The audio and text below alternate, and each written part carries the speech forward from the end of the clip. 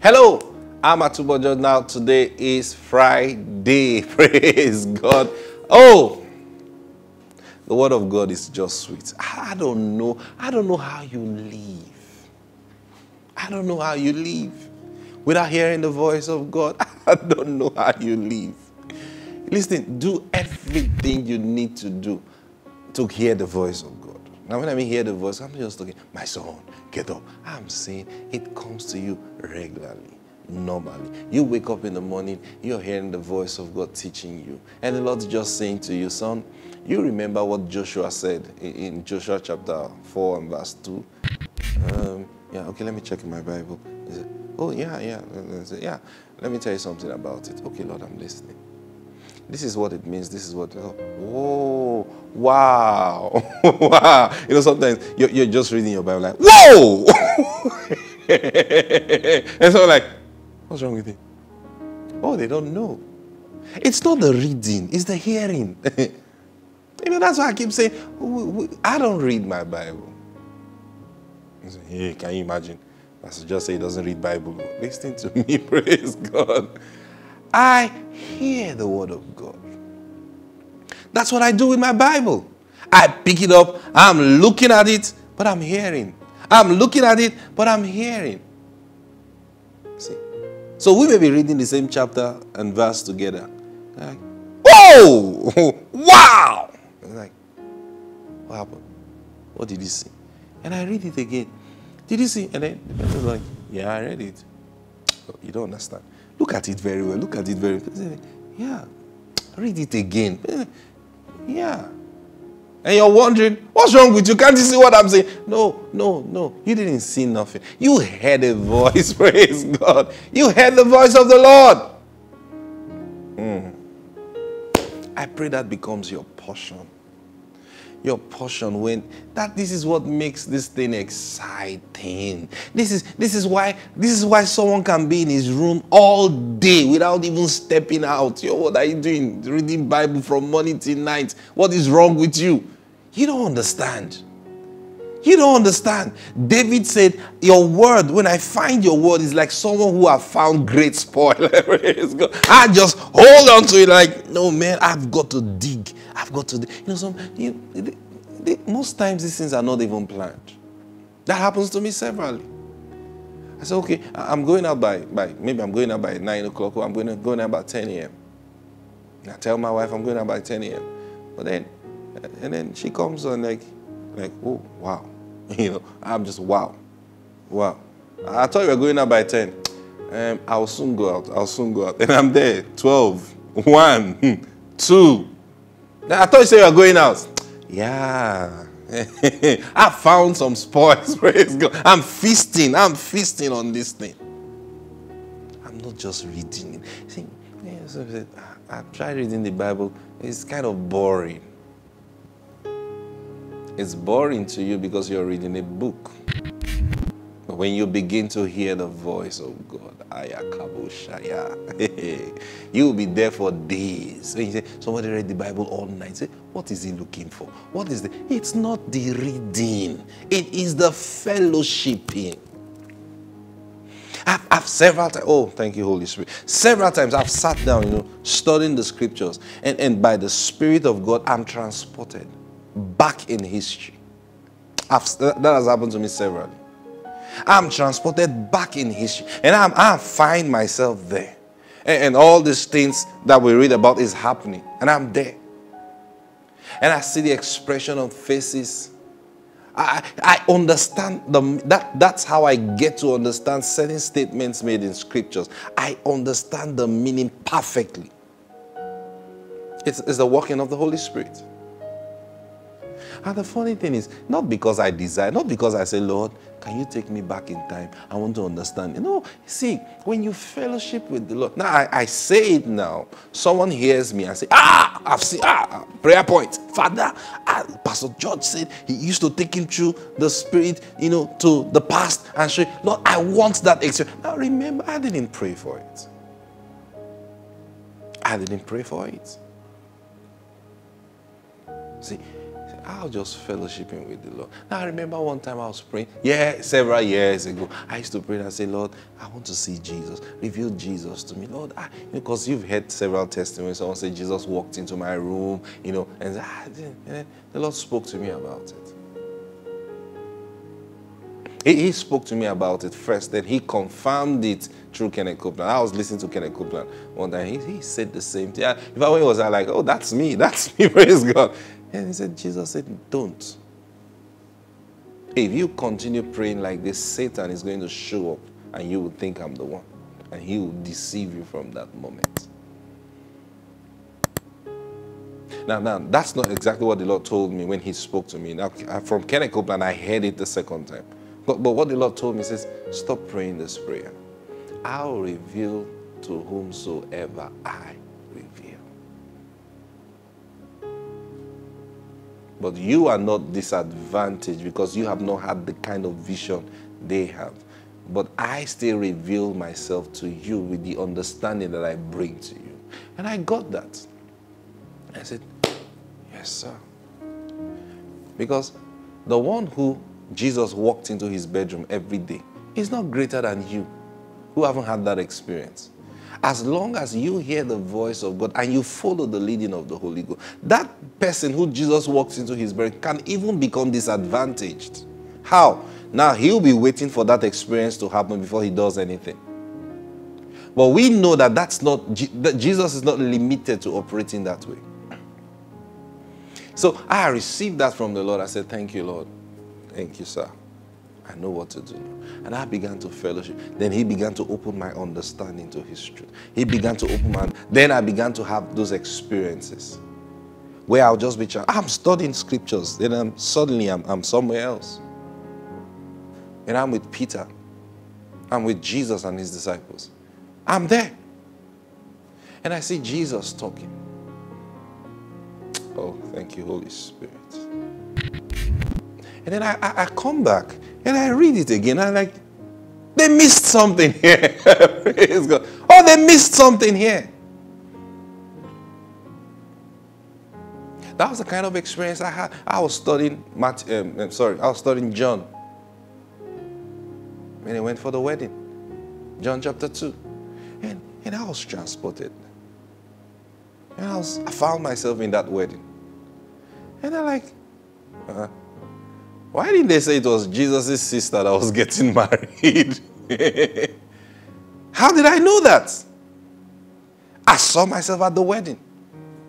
Just several years, several years ago. I saw myself at the wedding. I'm like, there's a family wedding going on here.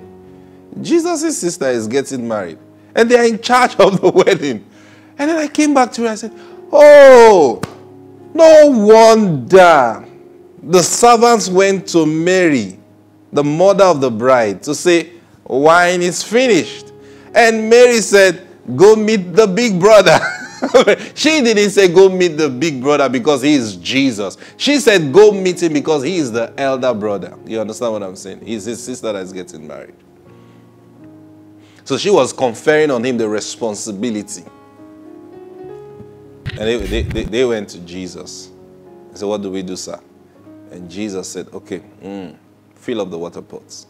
Okay, fill up the water pot. Why? It's their wedding. We are servants. Anything said we should do, that's what we would do. So they were not thinking miracle. No, they were not. It was just normal. Okay, fill up the water. Fill up the water. Now fetch from the water pot that you just filled and go and give to the governor. And then fetch from the water pot and go and give to the governor. How? Just do it. And it's their wedding now. The governor is the that's the governor is like the chairman of the occasion. And then they fetch and give to the governor. Man drinks, drinks there. Like, wow, man, you guys are just too much. You've kept the best wine till the end. And then someone looked at themselves. is this the plan? is this how they want to deceive people in this wedding? You know, they're like, what's going on here? Oh, serve it, serve it, serve everybody. Of them like, Ross, is wine. No? Is it wine? Uh, is it not where he fetched that water from? Ross, like, like that in his wine we're fetching. We didn't know it was wine. No, now. But it's not from the well. It is. Ah, go and fetch. Ah, it's water. But this one is wine. well, they enjoyed their wedding and they finished and everybody went home. Jesus has given his sister, his younger sister out in marriage. Praise God. You understand? Now that's why they were in that wedding in the first place with his disciples because his sister was getting married. Just like your pastor's younger sister is getting married. You will all go for the wedding. You know what I mean? If you, if you love your pastor and you're committed to him. So that's what happened. Now, how did I know that? Nobody taught me. Because I was transported. So, several things, several things in scriptures. And that's how a perfect understanding comes to me from scriptures. So, when I begin to speak this, it's all like, how did you know these things? It's the Spirit of God. It's the Spirit. Even as I don't, I don't pray, say, Lord, can we, can we do some transporting today? At His will. At His will. You, don't even know I'm coming to transport you now. You're just fellowship with Him, and suddenly you're, you're in an environment, and like, wow. And then you're just a spectator looking at everything going on. And then you come back here like, wow. Okay, I understand now. Oh, wow. This is what Jeremiah meant when he said this. Listen to me. The Holy Spirit. You know, Jesus said, I will not leave you comfortless. I will come to you. How has He come to us? Through the Holy Spirit today. And the Holy Spirit, He said, will teach us all things. And guess what? He said he will guide you into all truth. That's what he's been doing in my life. Praise God. Listen, there is no truth I know that I don't walk in. I don't know it for head knowledge. It is by experience. Actually, the truth comes from the place of living it. you know, you know, Jesus said, if you abide in me, he said, I am the vine, my father is the husbandman, and, and and we are the branches. Then he said something very, very important. Every branch in me that bears fruit, my Father prunes so that it will bear more fruit. How does the Father prune? He says, You are pruned through the words that I have spoken unto you. So the Lord taught me that. He says, Son, any time you are bearing fruit with my word, I will come and give you more depth. I will come and give you more insight into that word. What's he doing? He's pruning you. Why? So you bear more fruit. so when we talk about tithing and you begin to obey and begin to do what the Lord wants you to do with his tithe, you begin to take it to him and practice that. You wait for his voice and then he will speak to you on what to do with the tithe. You obey him. You begin to do that. Suddenly, suddenly, the Lord will come and start teaching you the same way he's teaching you. He will come and say, Do you know what? You know what you just did? This is what the scripture means when he said, Whoa, whoa, wow, wow. And let me tell you the truth. You see this that teaching from the Holy Spirit, that teaching. Now, what's it? He's guiding you into all truth. That is what is going to sustain your receiving. That's what's going to sustain your receiving. See? It's going to sustain your receiving. Because now you are in real fellowship. It's not a one way thing now. You started the journey approaching him with, with, with, with his tithe. But then he's, he's responded to you by speaking to you. And then you begin to real walk in that real fellowship. He will come and teach. Is it healing? When you begin to practice your faith on healing, what happens? He will come to teach you more. He will come and prune you. He will prune you.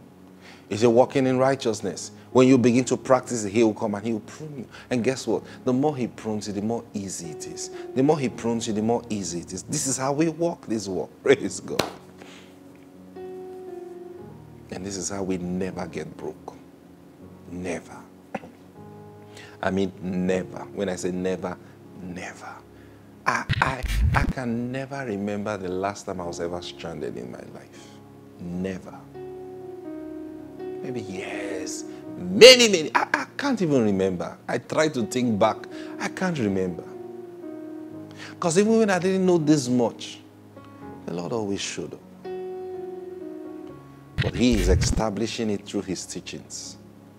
So now I know what to expect. I don't see that well, God, I know He will show up. I just know He will show up because I'll ask Him, Lord, what do you want? What would you have me do? He said, This is what I want. Thank you, sir. I do it, and He shows up. Father, we bless you. I release, oh, thank you, Holy Spirit.